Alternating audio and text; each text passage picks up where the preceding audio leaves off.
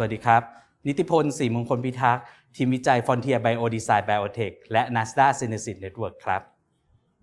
จากช่วงวิกฤตโควิดที่ผ่านมานะครับ ถึงแม้เรามีบุคลากรทางการแพทย์ หรือระบบรองรับที่ดีแล้ว แต่เราไม่มียาใช้ครับทางทีมวิจัยจึงเล็งเห็น จึงพัฒนาในการสังเคราะห์สารออกฤทธิ์ทางเภสัชกรรมขึ้นมา เพื่อยกระดับอุตสาหกรรมยาไทยทำให้ประเทศไทยเป็นศูนย์กลางการแพทย์ครบวงจร และคนไทยมียาดีที่มีคุณภาพใช้ครับ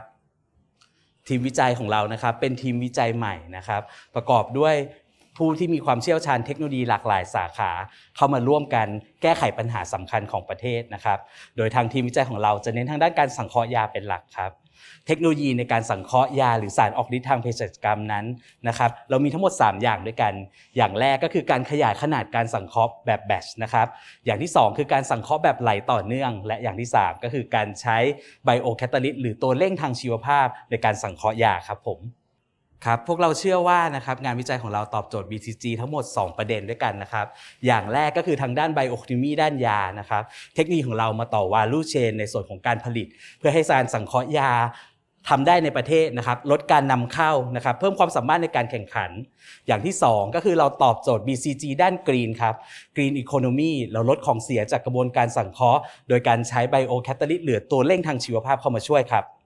ทางทีมวิจัยนะครับก็มี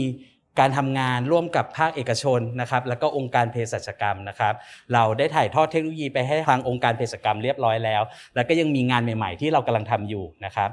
ปัจจุบันนี้นะครับทีมวิจัยของเราเปิดบริการรับจ้างสังเคราะห์หรือ custom synthesis นะครับไม่ว่าจะเป็นการพัฒนาการสังเคราะห์สารออกฤทธิ์ทางเภสัชกรรมนะครับสารที่ใช้ในเครื่องสำอาง สารที่ใช้ในอาหารเสริม รวมถึงฟังชั่นอลอินเกเดียนต่าง ๆ ครับ ถ้าสนใจก็สามารถติดต่อได้ที่ Biotech สวทช ครับ Thank you.